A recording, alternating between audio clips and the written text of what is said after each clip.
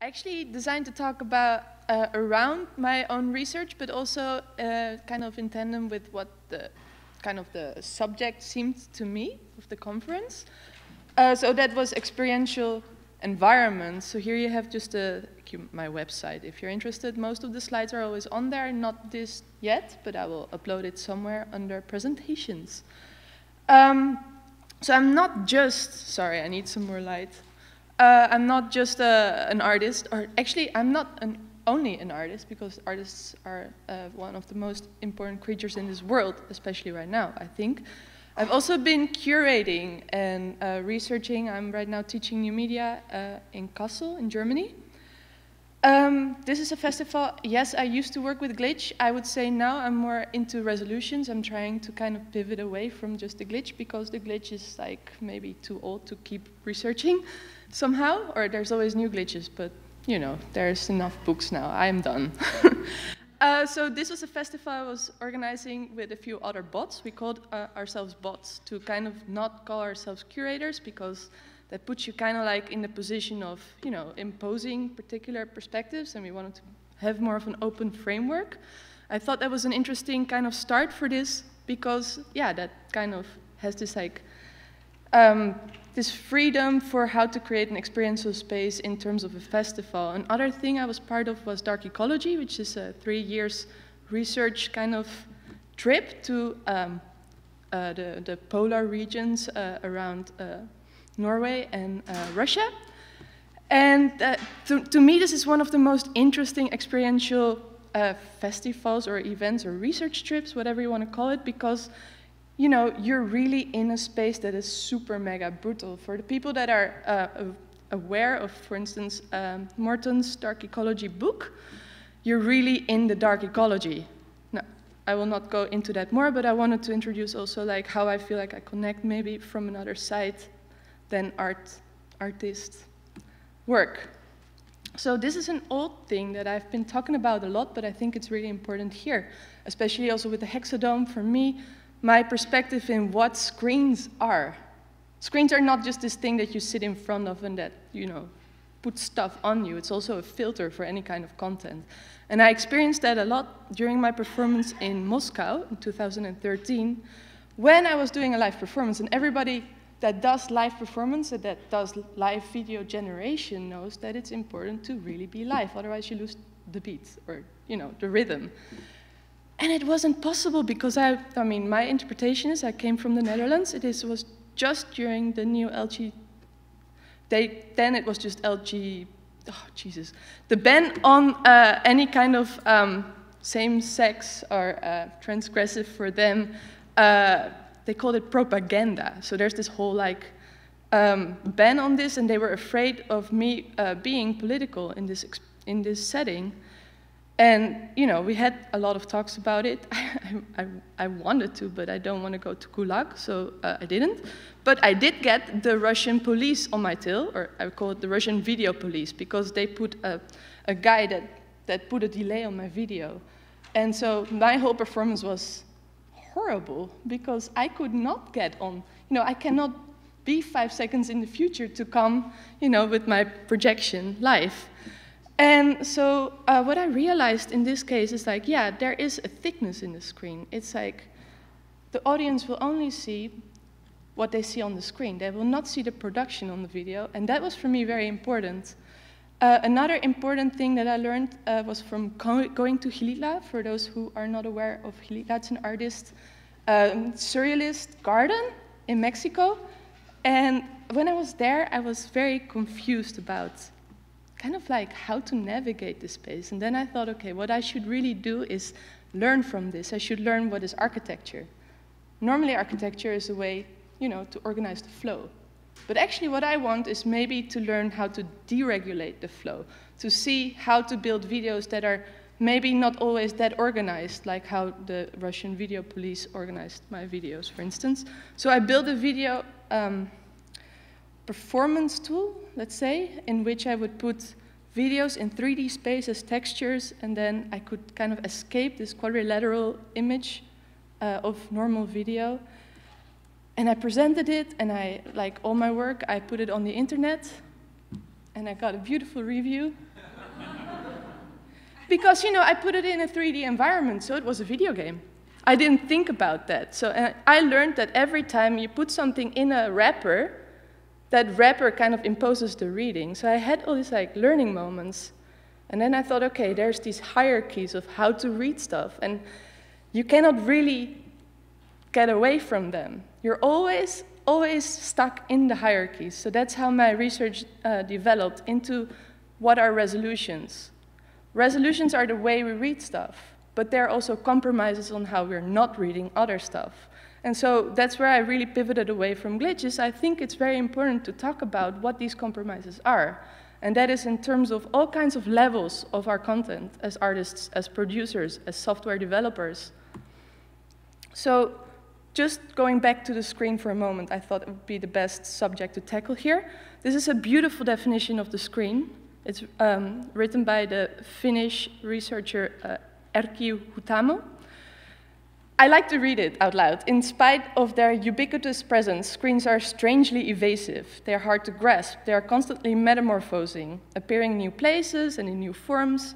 They're big screens, they're small screens. Some are flat, some are fat. Some are attached to a box. Some are like the sun, they're active, they're radiating, and they have a life of their own. While others are like the moon, they're passive, they're reflecting light projected at them. There are screens observed from a distance, and others are touched and interacted with, held in one's hand, but how to formulate a definition that would embrace them all? Does it even make sense to ask that question? Well, I will not completely answer this, but I do think there is something to take away from this talk. Um, another research I've been doing is uh, into compressions.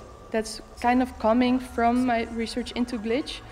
Um, this is a VR environment I built. It's DCT siphoning. DCT, for those who are not familiar with DCT, is like the building brick of the JPEG. So the most used image compression in the world ever is kind of like really resting on this one algorithm, which is called DCT, discrete cosine transform. And in this particular environment, I wanted to kind of explain a story of the imposition of uh, compressions and what is not compressed and what cannot be read, read. So through a story of uh, a big block and a small block who both go through these different kinds of layers of compression, or I call them compression complexities. So from like the pixels to the lines, and from the lines to the blocks, and then they move to the wavelets and to vector space. And at some point the blocks go crazy because they're not from vector space. So that's where they quit. Um, yeah. And then I started to project this not just in VR, because I'm still fighting to get away from, you know, the quadrilateral screen, uh, uh, into this, uh, I called it a spomenik. This is like a screen that has different angles and, um, yeah, we called them shards. So I had a lot of shards in space projecting different kinds of VR. Behind the screen, you could do the VR, and there was a part that was like live projected. And so uh, I tried to kind of break up this like experience of what is VR.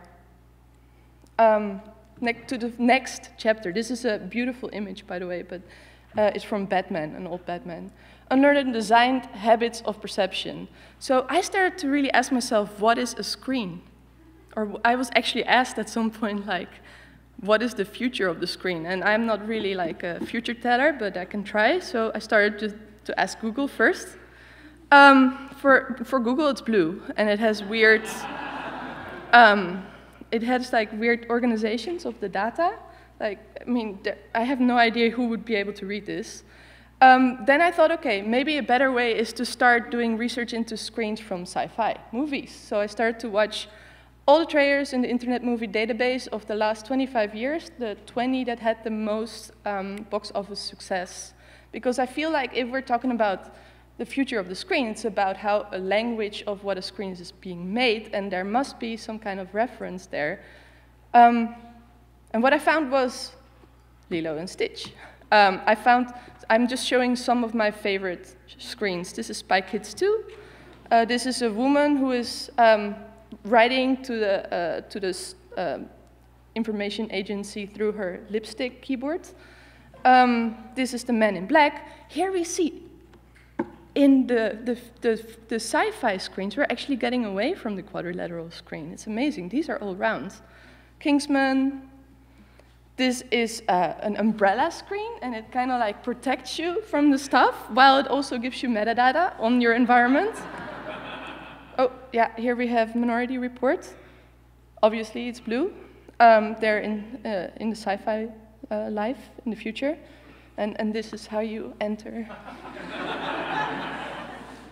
Very nice. Star Wars has also uh, holograms, and uh, it's because they are going. I believe there was like a. I, I tried to understand why it had noise, but it was because they were going through a galaxy, so it had to have some noise, analog noise.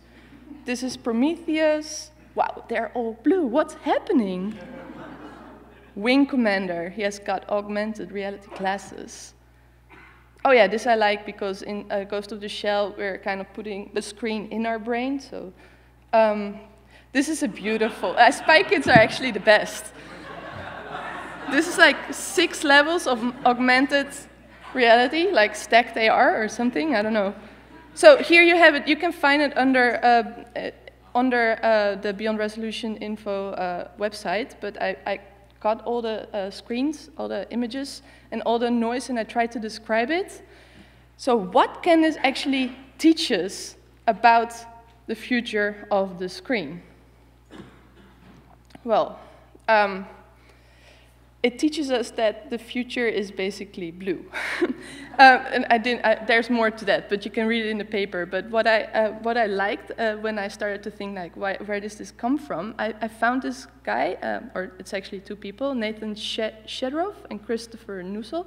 They might be from here, actually, but I don't know them. So uh, but they were actually asking the same questions, and to them there was a reason for that. Um, it's uh, because of the tungsten light, and it's just an easier way to change the colors in, uh, you know, color change after the film is shot. So there's a very practical reason why the future is blue. It's quite boring. It's about lightning of the now. Um, so uh, I'm this is Wendy Chun. She wrote a beautiful book, Updating to Remain the Same, and it's about habitual practices. I'm going to make a little bit of a sharp break, but it's for a reason.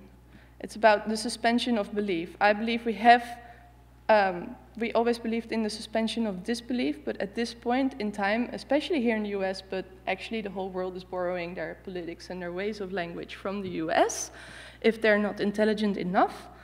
Um, so we are living in a time in which there is no such thing anymore as believing in reality or truth. Everything is like double guessed. Everything is like decontextualized and um, no longer very truthful, let's say. I think you know exactly what I mean. Um, which is interesting. Um, what I did here, it's a joke, a US joke. This is like um, the harm to ongoing matter. If you remember this Mueller report, that was just completely uh, the black flag of um, your country somehow. Um, I put the, um, sorry, I, I, I live with a Mexican, so we get to hate on US every day. Um, too much information, but it's the truth. Uh, so here we have a black hole on the Mueller report. This is uh, in between those dates. Uh, the Netherlands actually started the, um, the World Press Photo in 1955, but I believe it's now a very universal or a very uh, earthly thing, like it's everywhere. This photo won um, the World Press Photo which is very important that this photo won. But what I wanted to point out, which I think is like me making fun of my own country, because I get to do that after I made fun of your country. Um, this is uh, one of the rules of the uh, World Press Photo is uh, what are the rules of making a, they don't use the word real, but like what counts as a World Press photo. For instance, you cannot change your colors. Now look at this photo, well, it's not, now it's uh, completely edited, but the photo of the black hole I would say that's a photo. Uh, most people, but it's taken even through all kinds of lenses. But this would never be allowed to send into the World Press photo. I think this shattered our ideas of what um, the world and our universe could be. Um, so this was taken on the 10th of April. This image won on the 11th of April. Of course, there's no real connection to them at all, but I just wanted to um, kind of point out that everything we understand about our media, our archetypes, our photography, screens, video, sci-fi, um, they're all stuck in these like very small defined boxes. So this is not a photo, but this is obviously, yes, it's a very important photo and image. Um, okay, we're going to back to VR. Um, I just wanted to pull this up and not give any comments on it because uh, I wanted to actually comment on this. So this is a VR experience about how to cross the border. It was uh, brought up yesterday.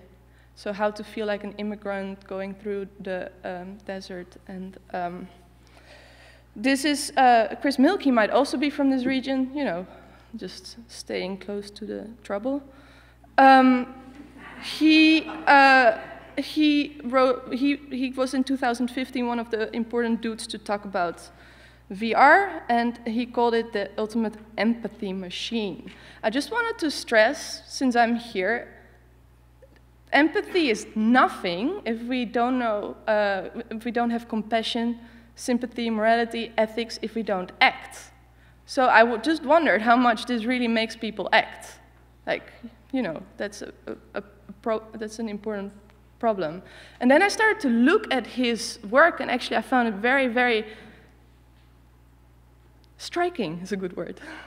Uh, that he's working for the United um, Nations VR um, He's making 360 videos VR. Mm-hmm. um, so uh, the first three uh, iterations they had actually were following young girls in problematic regions. And that's the ultimate empathy machine. Do you know, like, do you see where I'm getting? It's a little bit exploitative. I thought, like, can you also have empathy without young girls? Um, so we, we all know this, but, you know, I had to put it in there. So what's happening is, I feel like, um, and that's actually where I wanted to kind of put the conclusion, like how do you really make something immersive or experiential? Like how can you make people really more than just having that empathy or that moment of unch and then they go on to their normal business? For me, that is not about watching um, you know, a, a, sad story about a young girl or uh, whatever. For me, it's to make your audience really question something or make them want to understand but be a little bit worried if they do understand because that makes them really think longer. So I'm kind of in favor of creating these spaces that are double. So I'm referencing a double think here, but then a double space, a space that has multiple interpretation. Maybe it's a love letter, or maybe it's just somebody just died. You know, like, um, that's, that's like, for me, this moment when people are just thinking, what is going on?